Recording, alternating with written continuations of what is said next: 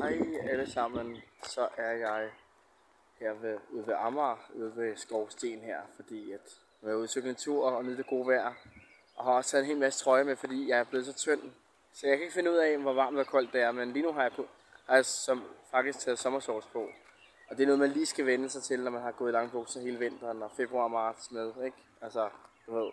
Så her der, har jeg shorts på i dag, og så, øh, ja, det er fantastisk at være nyklippet, og det er godt, at det er godt, at det ikke blæser så meget nu, men det gjorde det lige før. Det er derfor, jeg var sådan lidt, åh, oh, hvor meget skal man tøj skal man tage med og sådan noget, du ved, altså. Men øh, jeg havde en hyggelig dag i går, og skal ses med kammerat senere, og har også nogle telefonsamtaler.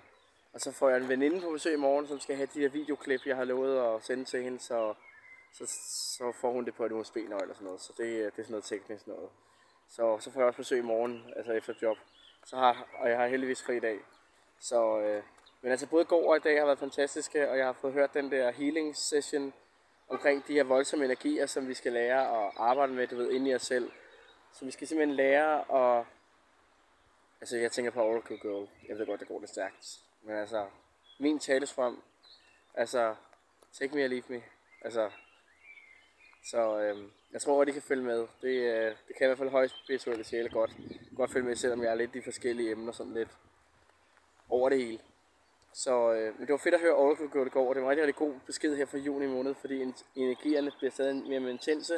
Der bliver flere og flere danskere, der kommer op på vores side. Ja, tro det eller lad være. Der er flere danskere, der vælger frihedskæmpernes tankegang til, og vores måder at se tingene på, altså hvor de også kan finde, finde svarene i sig selv. Det er jo ikke fordi, man skal gøre tingene på min måde, man skal finde det, svarene og den rigtige måde at leve på inde i sig selv.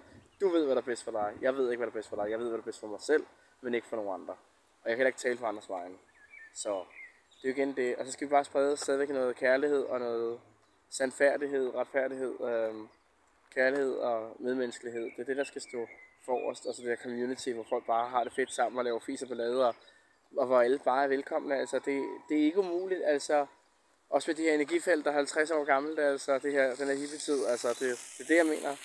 Den her unikke mulighed, vi har nu, og, øh, og jeg tror også, det er uundgåeligt heldigvis. At det er fremtiden, det er mulighedernes tid. Og det, men det er også en tid, hvor rigtig meget mørke skal transformeres til lys ind i os selv. Så det er også fordi, processen er også hård i sig selv. Og så må alt den både psykiske og fysiske smerte, man også går igennem, der er rigtig meget forhold til. Men det er, det er derfor, vi har hinanden, og det er godt, at vi står sammen, og vi... Altså, det synes jeg er meget, altså selvom... Jeg synes ikke, jeg føler mig over meget alene for tiden. Du ved, altså jeg nyder også bare at være mig selv og være ude her i naturen selv. Men igen, det er den der balance, men man skal sgu ikke være for, for meget alene. Det synes ikke, man skal være overladt til sig selv. Øh, og det er det, vi vi lige talt om med, både med vores sundhedsvæsen og, og, og, og omsorgsplejen, ikke? Og det her med, at der har aldrig været så mange ældre og unge mennesker, der er ensomme i Danmark, altså det... Øh, der er mange ting, der er galt, men der er også mange ting, som kan gøre så meget bedre, og når vi står sammen, og måske også tænker lidt uden for systemets bokser, øh, bokse. Altså, tænk lidt ud af boksen, og ja, så gør hvad du kan, altså lad være med at presse dig selv, men, men gør sådan lidt hvad du kan, så bliver det heller ikke så hårdt. Og så skal vi altså gå ned, ned i arbejdstid, vi skal ikke arbejde så meget, som vi gør. Den her syge danske arbejdsmentalitet, nu siger jeg det som det er. Det, det er en syg måde, danskerne finder sig, finder sig i at være til på.